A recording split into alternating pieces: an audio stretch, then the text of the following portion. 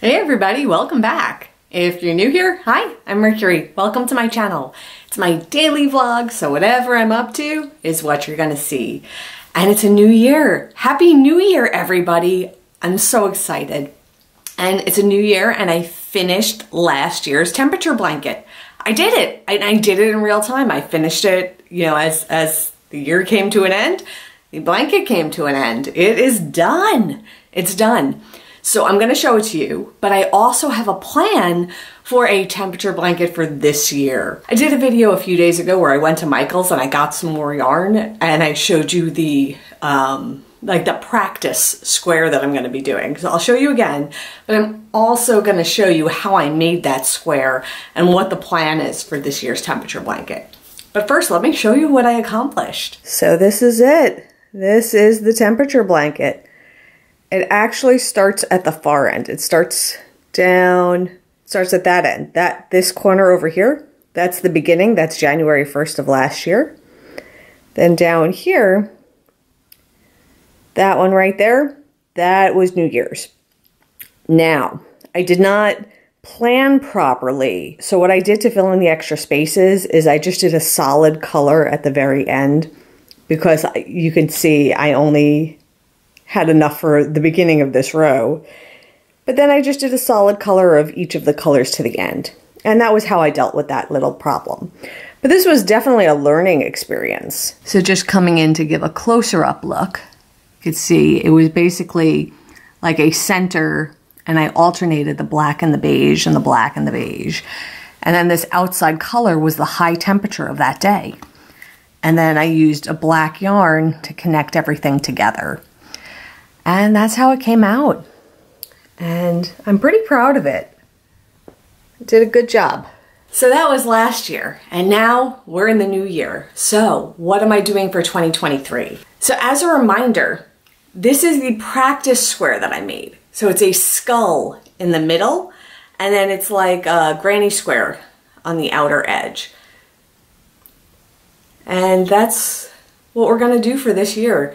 High temperature is the skull, just to do a black border around the edge. And then, just like last year, I made a code key.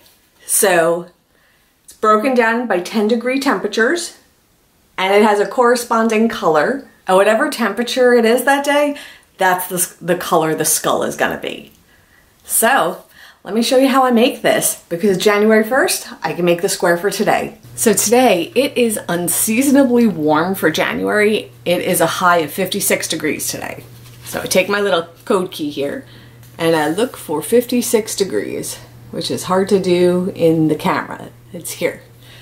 So it's actually that multicolor. So we're gonna start out with a multicolor yarn for, for January 1st. So this is the multicolor yarn that I'm going to be using today. And here's my crochet hook. And this is size H or 5 millimeter. So that's what I'm going to be using. Now to make the skull, what I'm going to do is I'm going to chain 7, which means I'm just going to grab this yarn and pull it through the loop 7 times.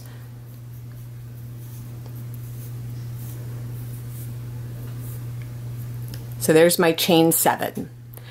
Now from here, I'm going to do a slip stitch into the very first chain back here. So I'm going to make a loop. So I'm going to basically put my hook in there, grab the yarn, pull it through, and pull it through. So now I have this little loop. Now I'm basically going to do that again. I'm going to do another chain seven,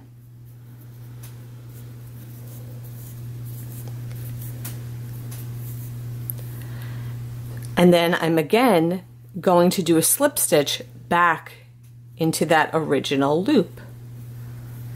And basically by doing that, I've made a figure eight. And this is going to be the eyes of the skeleton. Now to do the top of the head. So I'm going to do four slip stitches to get to the edge. And then I'm going to do a chain one, turn it around, and then do six single crochets. So let me show you what that looks like. So we do four slip stitches. So that's one, two, three, four. Now the purpose of that was to get from the middle to the end. Okay, so that was all that was. That was just transportation. Now we're going to do a chain one. I'm going to turn this around or flip it over. And from here, I'm going to do six single crochets. So we're going to go into here. Oh, go through. There we go. And we go one. Come on. I did those last stitches a little tight. That's what's going on there. Two. Three. Four. Five. And six. There we go. Six single crochets. Now, from here, I'm going to turn, flip it over again. I'm going to skip the first stitch. So I'm going to skip over this stitch right here. I'm to go right into this blue stitch. And we're going to do four single crochets. So go skipping this one, going into this one. We're going to do one, two, three, go on, four. So we did our four single crochets. Now from here, okay, just opening up the eyes a little bit. So that's the top of the head. So let me arrange this so you could kind of see what we're looking at here. Okay, we have two eyes here and this is the top of the skull. So from here, what I'm going to do, I'm going to cut a super long tail. So like, like, like this. I'm trying to show you. So, so it it's like one pull, two pulls. I'm going to cut it there, and I'm going to have the super long tail, and then I'm also going to put a stitch marker right here and it's going to hold this open. So I have a stitch marker right here. I'm Going to give that a little slack and I'm to just slide that in there and it's just going to sit right there and that's going to hold my place and this tail we're going to use later. So from here we're now going to work on the bottom of the skull. So what I have to do is I have to find the center which is right here and we're going to go three stitches to the right. One, two, three. So it's going to go into this purple stitch right here. That's where we're going to join. So I'm going to put my crochet hook in there.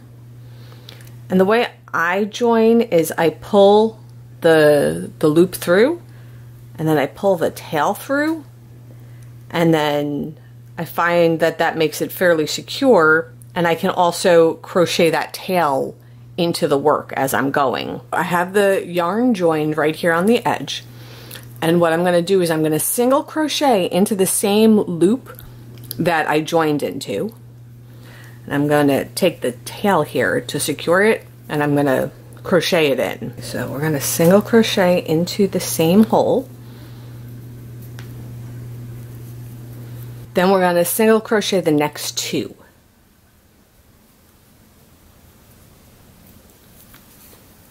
And that brings us to the middle.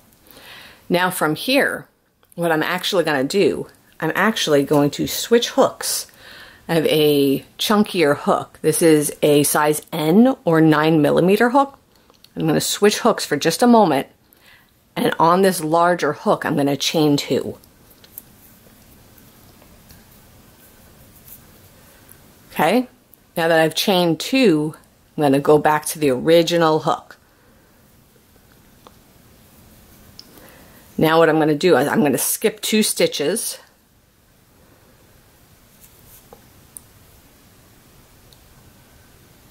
And I'm going to single crochet in the next two stitches.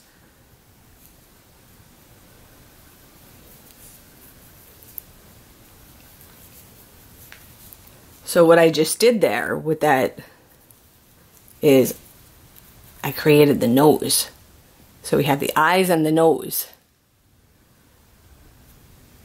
Okay, now that we've done that, we are going to chain one and flip it over, turn it around. Now from here, we're going to skip a stitch and we are going to do a single crochet right here. Now we're going to chain two. So we're going to do a triple crochet over here. So you have to wrap twice. And we go through. One, two, three. Then we're going to chain one and we're going to do a single crochet. And that just made the teeth.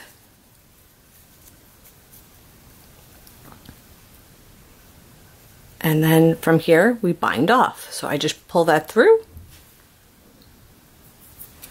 give it a snip, and I pull it tight. That's how I do a bind off. So we have his little teeth, we have his little nose, and we have his little skull eyes. So there's our skull. Now the next step, we're going to go back to this tail. And basically, I'm going to do a single crochet all the way around the skull. There's going to be 26 stitches in total that go around it. So I give myself some slack right there and I take my marker off and I put my hook back in. And now we're going to single crochet all the way around. When you get to the cheeks, you're to put two single crochets in the cheeks because that's where the turn is. It just works out that way. So here we go.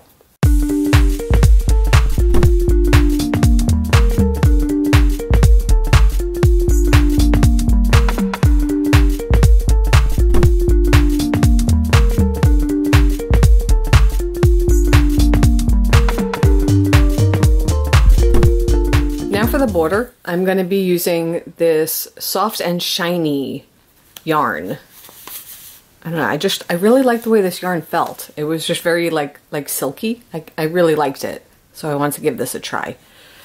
So, going to go in at the top. I'm going to go in here and I'm gonna attach the yarn. Now that I have this, I have my tail and I'm gonna keep my tail and the head together just so that it gets worked in and it blends in. Um, when I did my practice, I thought I was doing half double crochet and then I realized it's not and I don't even know if it's a named stitch that I was doing. So I'll show you what I did and if this is a named stitch, let me know, but I, I don't think it is. But I did chain two and then I did yarn over. I skipped two stitches and I went in here. I pull it through once and I pull it through again and then I grab the yarn and I pull it through both. I don't know if that's a stitch, but I'm, I'm making it a stitch. Where it's, it's a stitch now. So we're going one, two, yarn over. I'm skipping two stitches and I'm going in over here. I'm going to pull that through and pull it through again and grab more yarn and pull it through both. Now this is going to be a corner, so I'm going to do the next one into the same exact stitch. So I'm still going to do the chain two. I'm still going to do the yarn over, but instead of skip, skipping stitches this time, I'm going to go back into that same one, pull that yarn through and through, grab more yarn and through both. And that's what I'm going to do all the way around. So it's chain two now, yarn over, skip two stitches. We're going to go in over here, pull that through and through again, grab it and through both. And then we're going to chain two, yarn over, skip two stitches, through two, through two. Okay, now we're at the end and I'm going to just join that here with a slip stitch. So we went around once. We're going to do this again. except this time instead of going like skipping two stitches, we're gonna go into the hole that was made. So we're gonna go into these holes. So again, we're gonna do chain two, yarn over. Now I'm gonna go into this hole, grab the yarn through and through. So now that's it. And I'm gonna just basically take my crochet hook and I'm gonna weave these tails in so that they're hidden.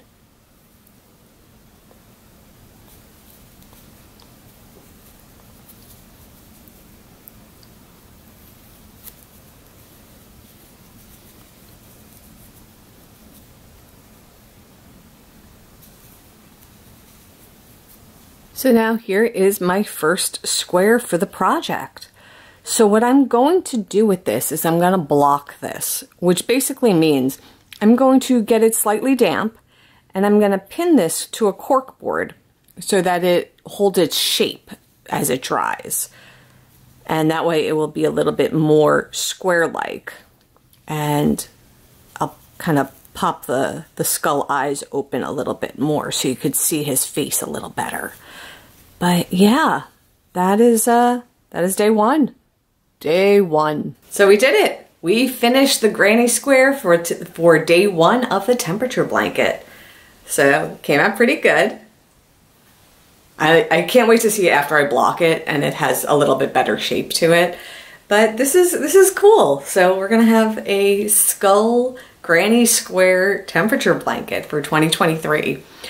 Last year, something I did that I found really helpful was I had one of these uh, stitch holders and I put this on the very first day. So that way, whenever I laid it out, I easily could find it. So I always knew where to start counting from. Uh, the other thing that happened that I'm going to learn from last year was I would sometimes make little piles of the pieces before I had enough to attach them to each other. And on occasion, they fell over and then I had to pull up the weather for the month and get them back in the right order. So I'm going to, as I do these, slide them onto here until I'm ready to attach them to each other. Um, I do have a couple of these, so, you know, I'll put a smaller one on as the marker for day one. But yeah, I think I'm gonna keep a stack going for any that are done but not ready to be attached. Because what I found last year was I started attaching them like as I was doing it and if I didn't have enough for a row then I had to have the whole project out and it became like a big you know to do because I, I just have a little apartment. And when I had enough to complete the row I had 18 of the the, the motifs that went into a row so every time I had 18 I would do the whole row and I found that to be much more useful so I'm going to do something similar um, I learned 18 is not the right number. it's, it's off. Um, so I'm gonna do a little math and I'm gonna figure out what the right number is. And uh, once I figure that out, we'll start attaching it. But I'm gonna go block this piece and, you know, we'll, we'll keep tabs on this. We'll check in and see how this project is going every couple of months. But with that, I'm done for now. I'll see everybody tomorrow. And until then, stay inspired by everyone. Take care.